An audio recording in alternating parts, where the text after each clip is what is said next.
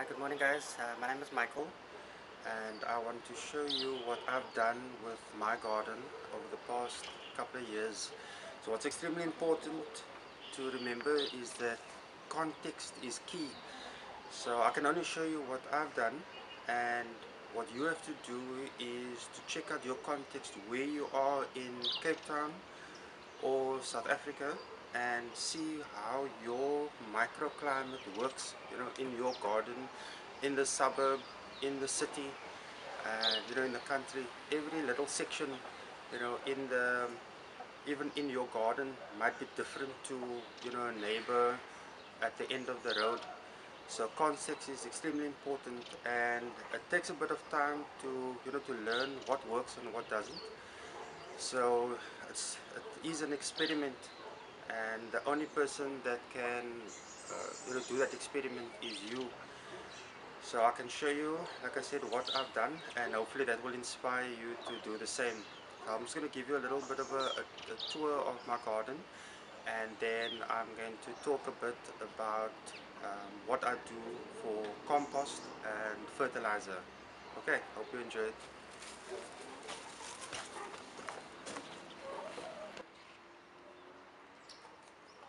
Okay, so this is my garden.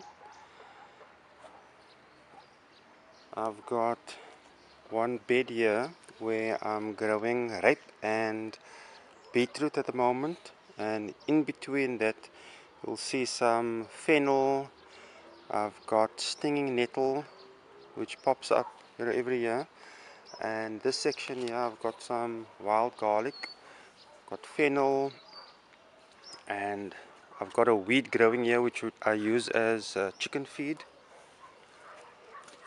Um, there's fennel growing in between that as well. I've got celery here at the bottom, mint.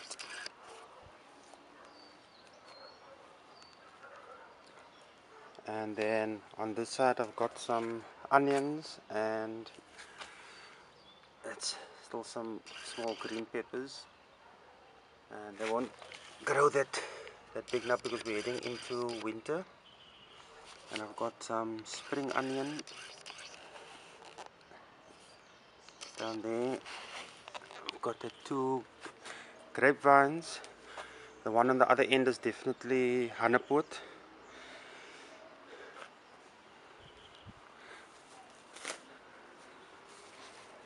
um, got a leek growing there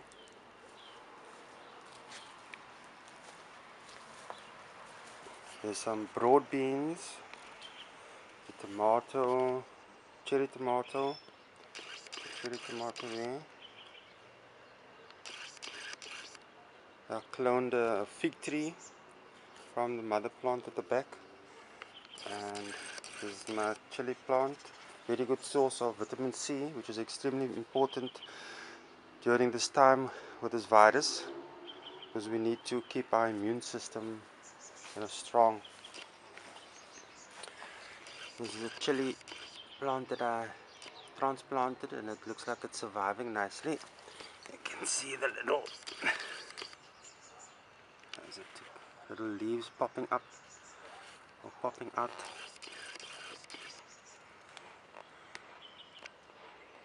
Anyway, the, the leaves are, the buds are coming out there so that is surviving that's a little lemon plant. Well, it's a plant now, it'll turn into a tree. yeah in this bed I'm growing bok choy, celery, there's a red cabbage, it's still small. I have an issue at the moment with this Hadeda birds. They're walking over the, the beds and they, they're trampling the, the little seedlings. Um, let me see if any has survived. Yeah and there might be a, a snail or snails. You can see the little red cabbage but something is eating the, the leaves. So I have to try and figure out how to sort that problem out. This bed is a bok choy there there's some gooseberry plants and then I've got cherry tomatoes. I had some lettuce here but something ate that those lettuce seedlings. The cherry tomatoes. Here I've got some uh, carrots. There's carrots. There's um, spring onion got chives I've got chilies there that is a company that will that makes pepper juice out of those chilies. And I've transplanted some of the carrots over into this bed you know as I was thinning it out. And I've got celery growing as well. And the celery the carrots they all self-seed so I let them grow to seed and they drop the seeds all over the garden and I just let them grow. And if it's in an area which I would not prefer them to be then I'll just uh, remove them and transplant them where, them where I want them to. I've just transplanted this fig tree which I cloned about I think six months ago. And I transplanted it and it looks like it's surviving. It's been in the ground here for about I think four or five days. That's my lemon tree which I grew from seed. So it might take long trying to grow grow your um, your trees from seed. It's easier to grow them from a cutting. Uh, from a cutting you'll get fruit within about two or three years. From seed it might take nine to ten years and here I've got this fig tree. This was the original fig tree. And I made about two or three clones from them. So you can either use a cutting to do it or like in the in my case I used something called air layering. And that is quite interesting. There's loads of information you know about that. And maybe at a later stage I'll do a video about air layering. Okay that's the one side of my garden I'll take you over to the other side now. Because a couple of years ago I started growing stuff in the front section of my property and there's a few beds here. In this bed here I've got celery growing here. There's a, there was a celery plant here dropped all its seeds and after germinated I just you know transplanted or I put it into a seedling tray and then when it's big enough I you know give it away to, to neighbors for them to, to grow as well. And so in between here I've got lettuce, I've got dhania seedlings and I've got kale and at the end there there's a cherry tomato tree. So a bird must have come there and after eating my cherry tomatoes on the other side crapped it out on that side there and it came up and I just left it. And yeah because I've got trees and you know whenever or whenever the council cuts down you know trees and I can get some of the you know bigger branches I will bring it home and after a while when it dries out I take the bark and I use the bark here as a mulch as a mulch and I also I use it in the walkways. So what I've done here is um, it was also just an experiment. I use those bags that they normally um, get these plastic. Um, I, am just experimenting with that to see you know, if it works. I'm not sure how it affects the you know the the ground uh, but that is just to prevent uh, weeds from growing you know from growing up. Uh, so I've, I've used the bark as a mulch and in this bed I've got ginger, spring onion, green peppers, there's kale, strawberries, there's a chili plant, more spring onion on top there and right at the end there there's some uh, comfrey so in these little containers I transplanted some chives there's comfrey, fennel, uh, I've got thyme and can you see that one over there, there's some thyme there.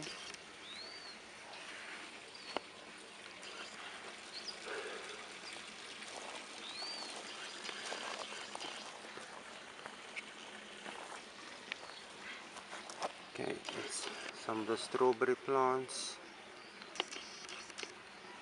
There's some of the comfrey that I transplanted. I use the comfrey as a liquid fertilizer. You can use it as a mulch, chicken feed. The fish eat it as well. And the old name of comfrey is knitbone, so that is quite interesting. You can do some research you know, about knitbone and what its uses are for. I've got this covered here because the white cabbage um, butterfly likes to lay its eggs on these leaves. And once those larvae hatch you know they will decimate any cabbages. Or, or the brassicas, broccoli, cabbage, cauliflower and the rape. And I've got some spinach here I like to grow these leafy vegetables because you can just harvest the outer leaves and use it and the smaller leaves will just grow up again.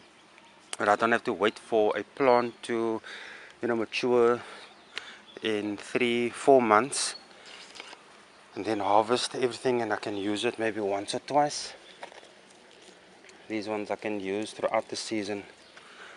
Okay and in this bed here you can see I've got comfrey growing at the end here. I've got lettuce on that side, there's two rows of lettuce. I've got red cabbage, we've got onions in between and garlic I've got at the end there.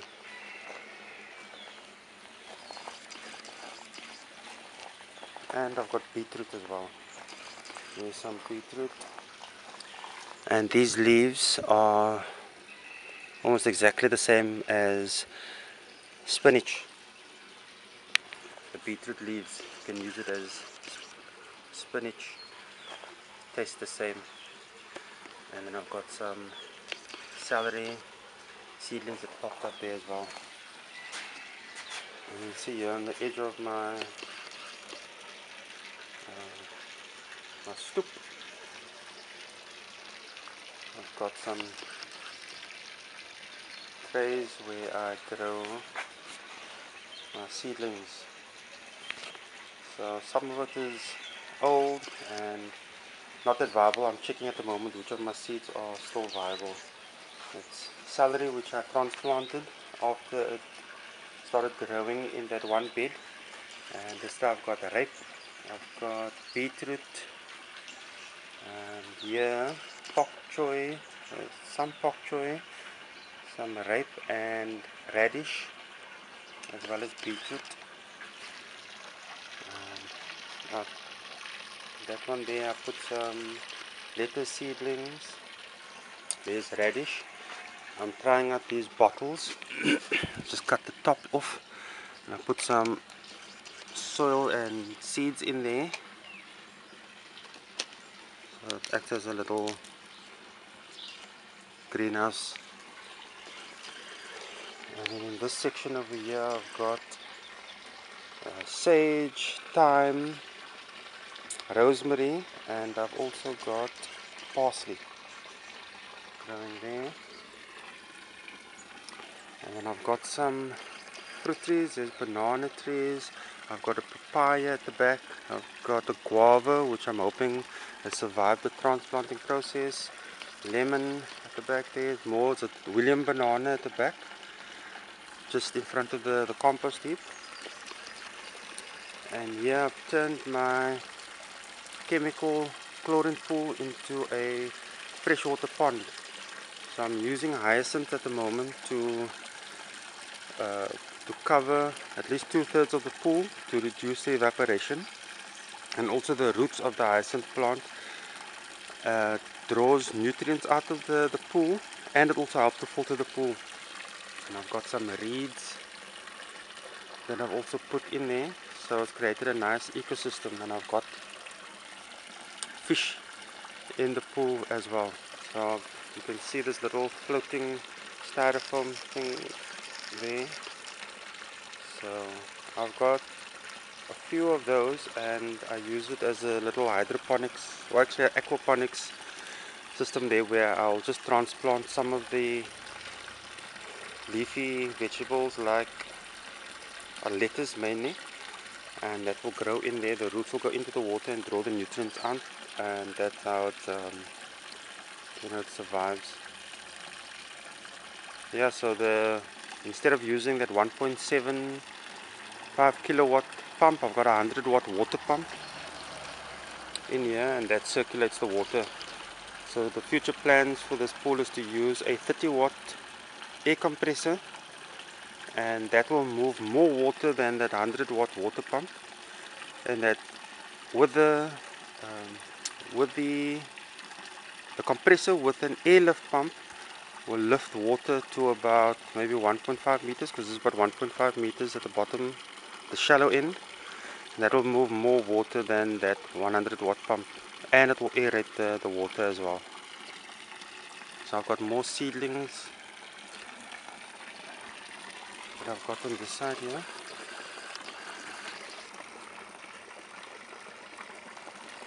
I'm waiting for that to come up as well.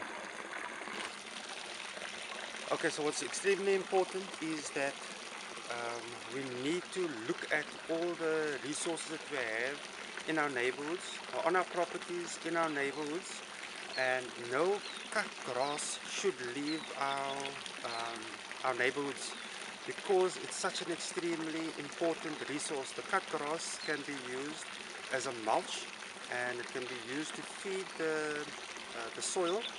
You can use it to make compost and it's like I said it's a free resource so if the if anybody is cutting their grass in the area they should be approached and asked if um, you know that can be kept any of the the guys that that do these garden services they can also be asked to, to bring it to a certain point in the area instead of having to go out of the area you know to a dump where it's actually given to a company that makes that compost and sells it back to us so it does not make sense for us to uh, be taking that resource out of the area. So that is number one, is to make, um, well, keep the, the grass, make compost from it, grass and the, the leaves, and to also use it as a mulch. So I can't stress that, you know, enough, is that we have to keep that grass within our uh, communities. It's, um, it's not a, it's not a, a weed, it's not a, a waste product and we have to we have to we have to keep it um, yeah it's going to save a lot of money um, so we don't have to buy compost it's going to also enrich the uh, the soil. So please try and do that. Look around and like I said in the previous video what I've done is I've approached the guys within the area. So there's about three or four and I have in three or four um, garden services. And from the five or six houses around me where the grass is cut I have uh, free compost, free mulch I don't have to go far for it because they just dump it over my wall uh, so that would be the first thing that you know you guys should look at is to check out in the area what your free resources are and to you know just to start uh, it is an experiment to see what works in your area for your little microclimate. Okay, thank you.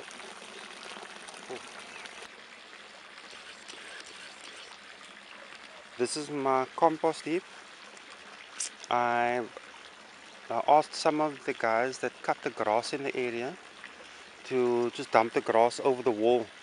And this is after a few months without me having to turn it over. And if you can see that it's this is what it's turned into.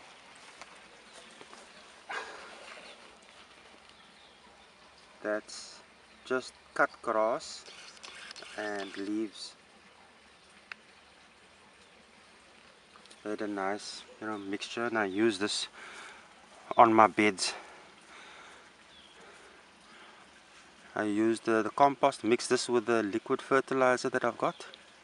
And I've also used the dry grass as a mulch to help protect the soil. And the mulch also reduces the amount of water that evaporates which ultimately means that the, you use less water. You know to water your vegetables. Okay so that's my this is the easy lazy way to to do it. You just leave it. Or you could turn it over you know every couple of weeks. Like you start in one section and start in one section there and then you move it over and the guys will just throw new uh, or freshly cut grass and leaves on that side. In a couple of weeks time you move this section over to that side. That the first or the freshly cut grass you move over to this side and then they throw more on that side. And by the time you reach the end then you should have compost which you can use and you just move it over. But if you don't have the time to do it then you just leave it and it will do its own thing you know naturally I also use the roots of the you'll see in between here I separate the the roots from the, the cut grass. And I use that in the walkways because it takes longer to break down. And that will also um, help prevent weeds from growing uh, in the walkways. You know I don't want weeds to grow so I try to keep everything nothing goes to, to waste and it's just a matter of you know thinking about how you can do things Okay, this is one of the drums where I do my liquid fertilizer. I'll throw weeds in here if I want to, comfrey. I'll, uh, when I clean out the chicken coop, I'll throw that in here, mix it with water. And then I will use that, I'll still dilute it a little bit and I'll use that on all my trees. So that's, you know, making my own liquid fertilizer. Okay, so you've seen how I create my um, compost and now what I'm going to do is I'm just going to go through a quick session of how I prepare a bed. I add, well first remove the, the weeds, I add the compost, add the mulch and then I'm going to plant some beetroot seeds and then I'll just cover it up again and water it.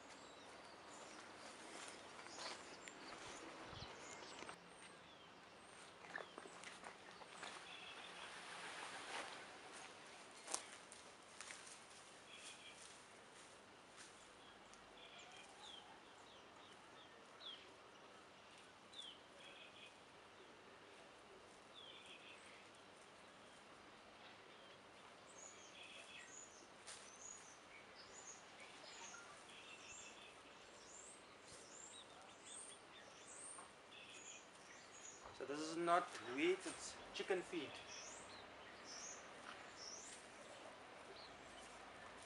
So I'm throwing it over the, the fence here to the chickens. If I wasn't close to the chicken coop, then I'll put it in a wheelbarrow. And close to the chickens instead of over the fence. If I was on the other side closer to the compost heap. I'll just throw it onto the compost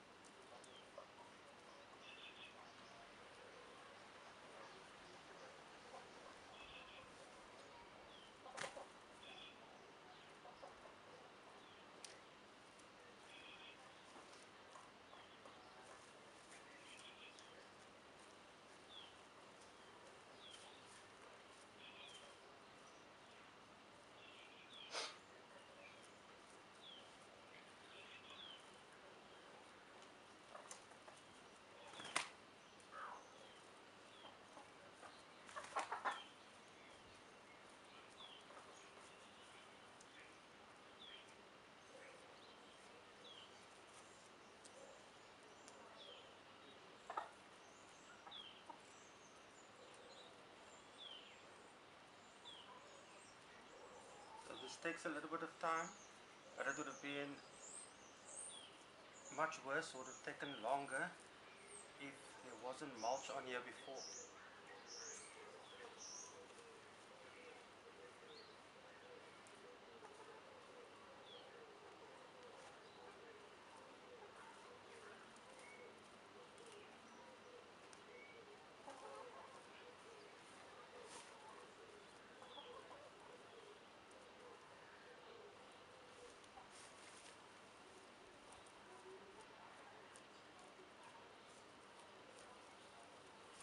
There's some tomato plants and celery plants growing in between it I'm taking out as well.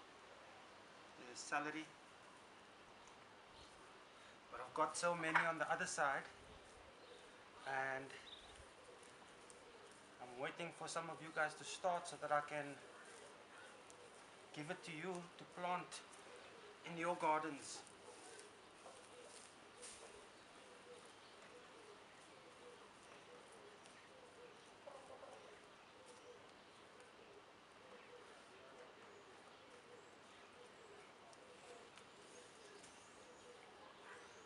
just moving some of the mulch that hasn't broken down. I'm moving to the side because I want to bring some compost in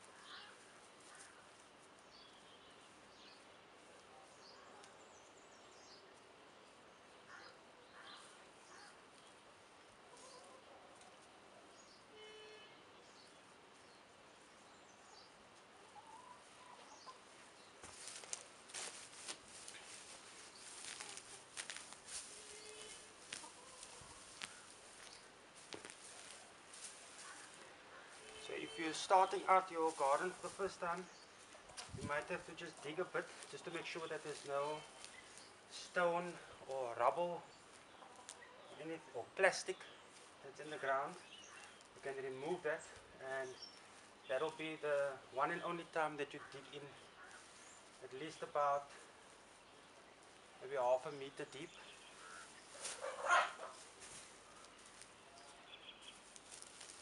and after that you never dig again you just add on more compost and mulch on top of the previous year's uh, that you prepared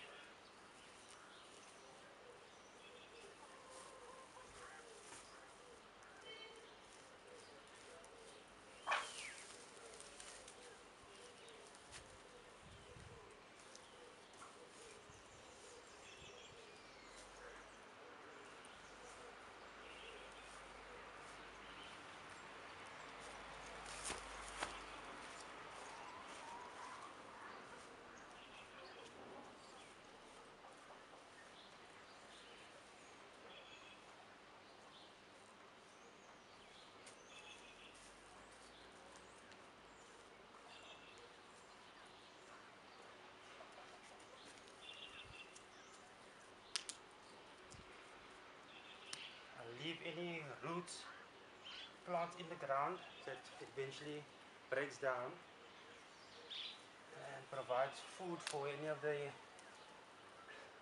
creatures, the uh, any of the critters living in the soil.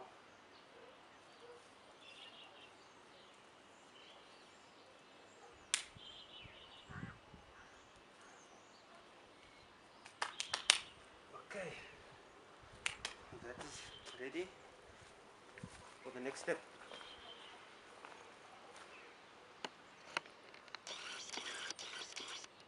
Okay, there you can see all the weeds are removed. The mulch that was still left on top is all put to the side. And this bed is about one meter by two meters long. Yeah, it's a bit uh, wider than what I normally would have a bed because sometimes I like to straddle the bed, you know, put my well, left leg on the one side and right leg on the other side and work in the middle. But with um, a meter long I can still work on the one side towards the middle and then go to the other side of the bed and work you know towards the middle without having to walk over the bed. Because that's what we don't want. We don't want to compress the soil.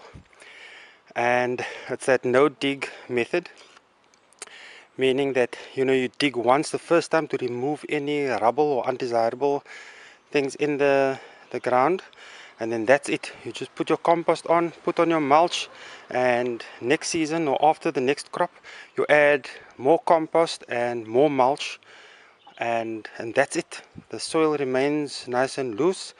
The organisms in there have a nice or and the insects have a nice uh, environment to live and breed and break down any you know of the um, the matter in the soil and that feeds the plants so what we basically do is we look after the soil. The soil grows the vegetables. And we have to really take that as our main mission is to look after our soil. And that also means not using any herbicides any pesticides. Uh, there are organic means of controlling pests but it's almost inevitable that there will be. So we need a symbiotic relationship with these organisms and insects that we have to share this planet with.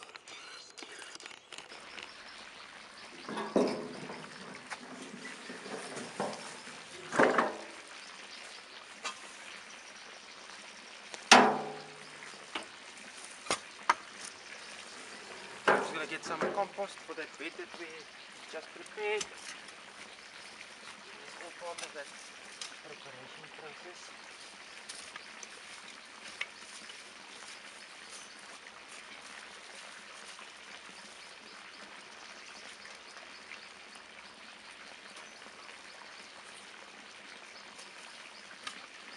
just loosening up some of the clumps this form because I never turned this over.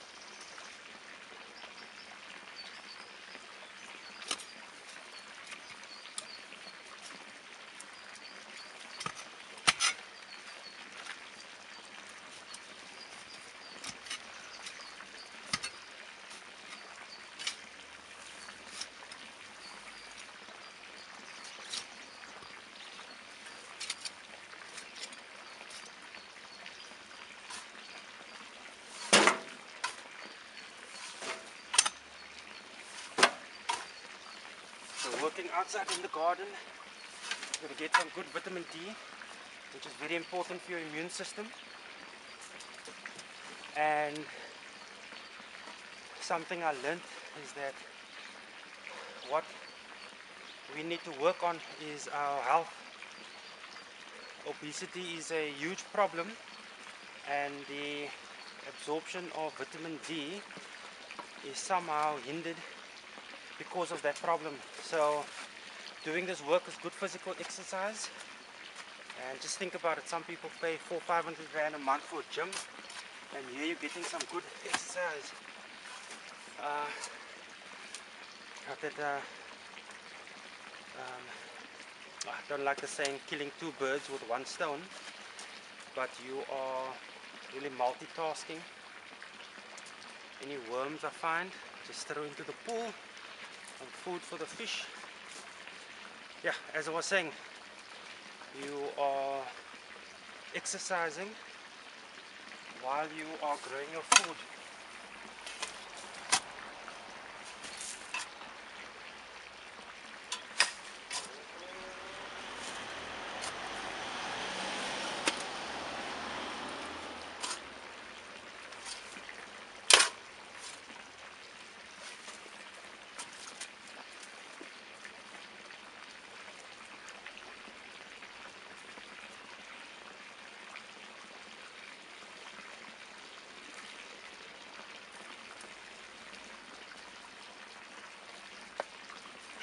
Okay. Take that over. I think we might need about three or four of these.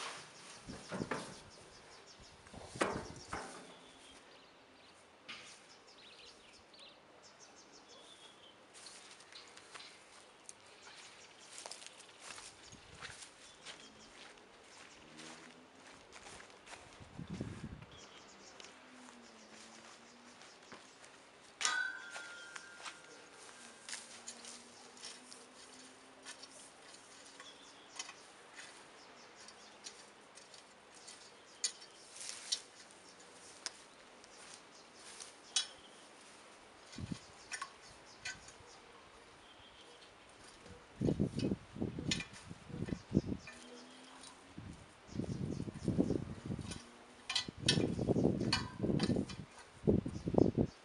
so it's nice and level. So um, I'm going to get some mulch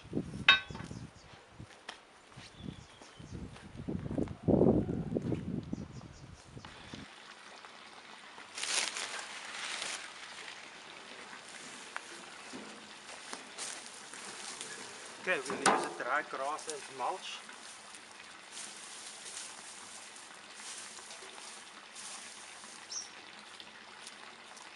About the plastic of course.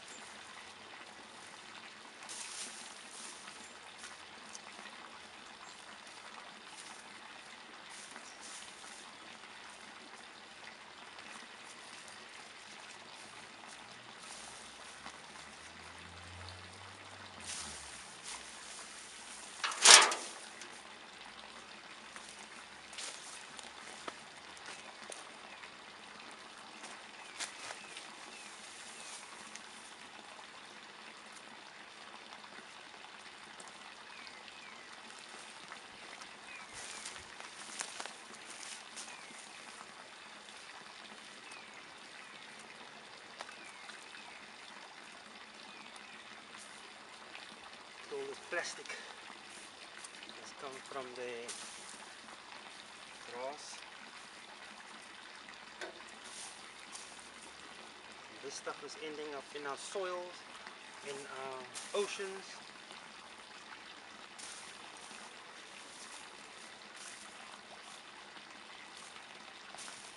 Really bad.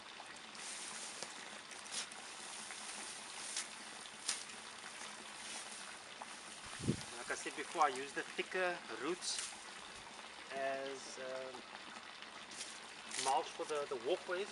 It takes longer to break down. So I like to separate separate those.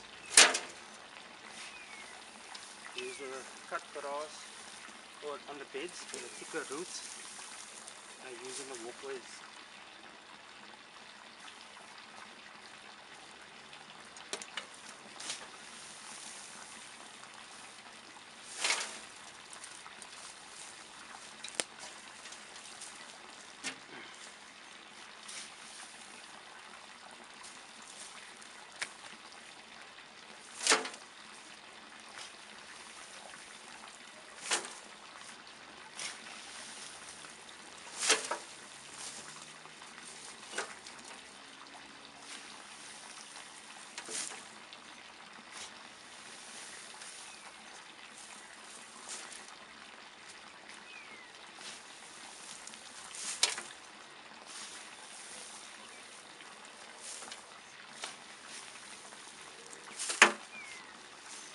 Okay, the first wheelbarrow of mulch.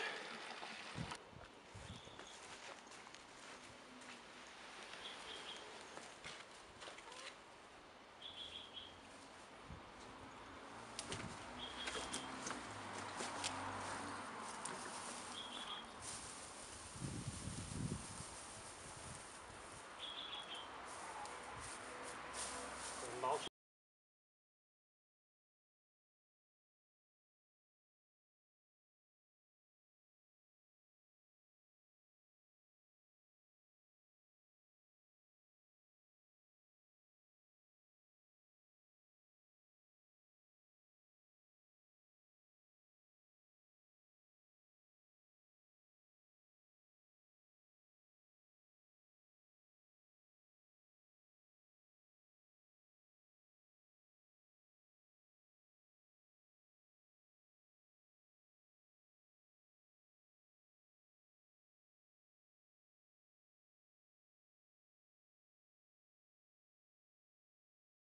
I'll just put this first layer of mulch, then I'll start to make rows and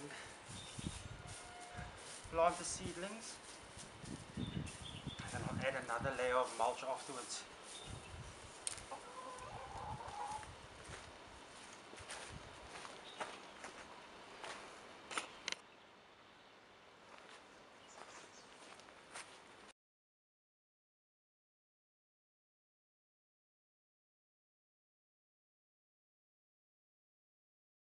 you prefer, you can eyeball it, use a long plank.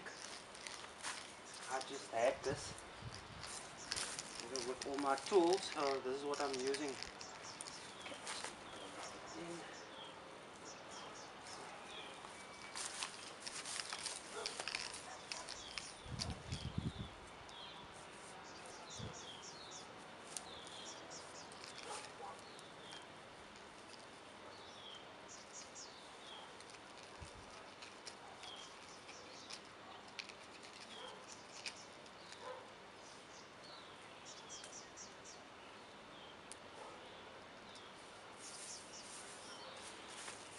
Okay, separate that mulch.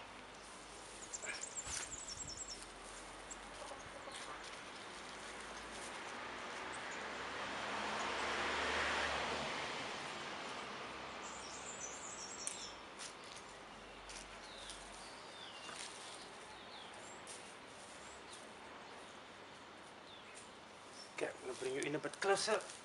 Let's see what I'm doing.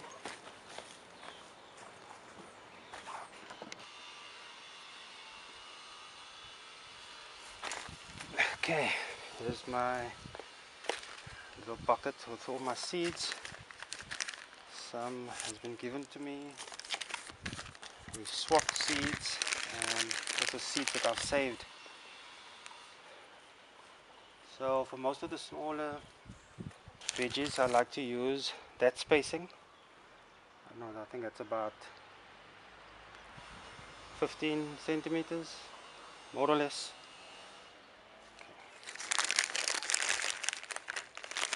I'm going to use that spacing.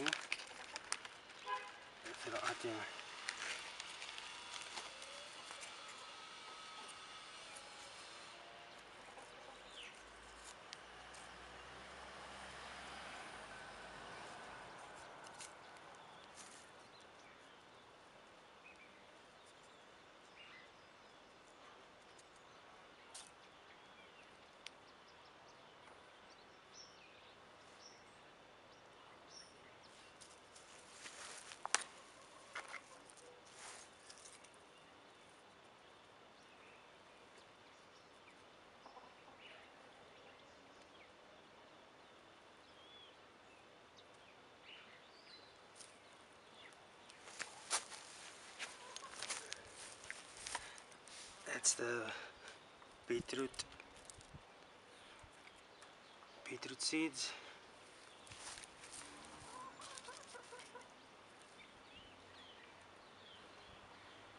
Doesn't have to be very deep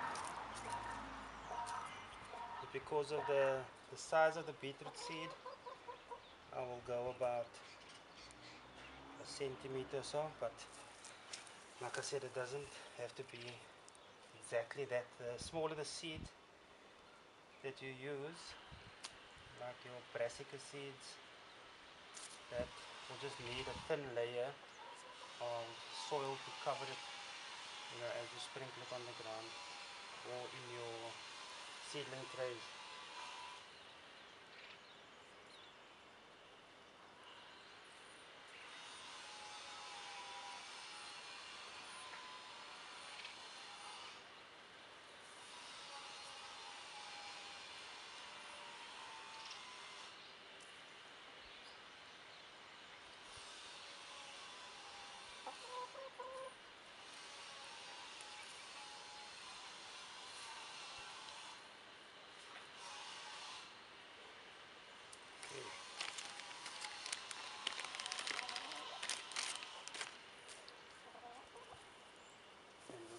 The section with a layer of mulch.